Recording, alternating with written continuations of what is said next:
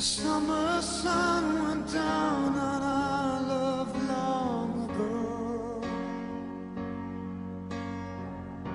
But in my.